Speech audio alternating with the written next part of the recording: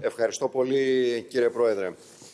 Η ερώτηση βεβαίως αφορά το νησί της Αμοθράκης, ε, θα μπορούσε όμως να αφορά και τις περισσότερες περιοχές της χώρας, ιδιαίτερα εκείνες τις περιοχές όπου ζουν ε, οι λαϊκές οικογένειες. Ξέρετε κύριε Υπουργέ, δεν είναι μόνο ότι σε αυτό το νησί, στο βορειότερο νησί του Αιγαίου, μέχρι και τα Χριστούγεννα απουσίαζαν ακόμα και καθηγητές στο Λύκειο για τα πανελλαδικώς εξεταζόμενα μαθήματα. Δεν είναι μόνο ότι το νησί δεν έχει επουλώσει τις πληγές του από την καταστροφική πλημμύρα του 2017.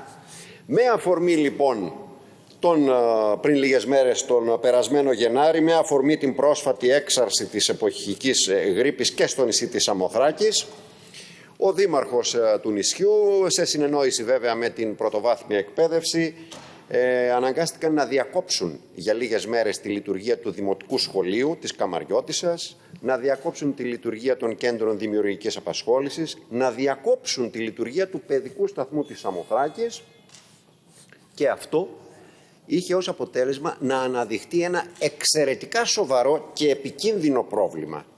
350 παιδιά στη Σαμοθράκη, κύριε Υπουργέ, αυτή τη στιγμή δεν έχουν παιδίατρο και αυτό το θεωρούμε εξαιρετικά σοβαρό.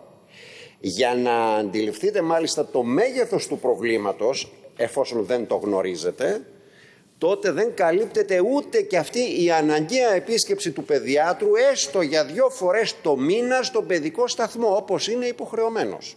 Τι σημαίνει αυτό κύριε Υπουργέ, ότι οι οικογένειες με μικρά παιδιά αναγκάζονται κάθε φορά που θα υπάρξει ένα πρόβλημα υγείας με τα παιδιά τους να πάρουν το καράβι της γραμμής εάν το επιτρέψουν οι καιρικές συνθήκες, γιατί προχθές υπήρχε απαγορευτικό και εάν λειτουργεί αυτή η συγκοινωνία, γιατί είναι γνωστά τα συγκοινωνιακά προβλήματα αυτού του νησιού, για να πάνε απέναντι στην Αλεξανδρούπολη, δύο ώρες δρόμο, για να επισκεφθούν το νοσοκομείο ή έναν παιδίατρο.